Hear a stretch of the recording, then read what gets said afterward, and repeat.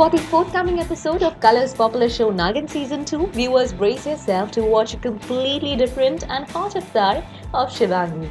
It will happen so that Shivangi would accompany Rocky for a party, where she would look drop dead gorgeous in a black sari. After looking at Shivani like that, even Rocky would fall for her on his knee.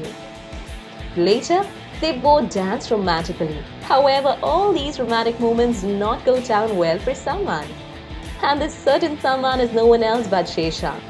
After watching all this, she immediately approaches Rudra and tells him that they'll have to do whatever possible to separate Shivangi and Rocky. Now this will be interesting to see whether how Shesha and Rudra separate Shivangi and Rocky amidst all these romantic sequences. What do you have to say on this? Leave your comments below. And for more television updates, subscribe our channel TV Prime Time.